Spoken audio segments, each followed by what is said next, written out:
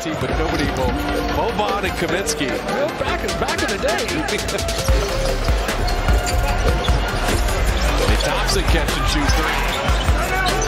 Klay Thompson credit Jabari Smith. He was right in his airspace. Klay made it anyway. Vincenzo, three defenders with him.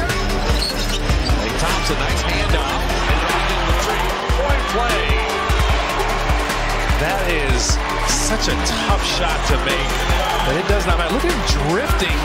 Like you're shooting at a moving target. It's like he's behind the backboard, basically. They're putting Garuba, the defender, on Klay. Klay saying, go away. I'll create something myself.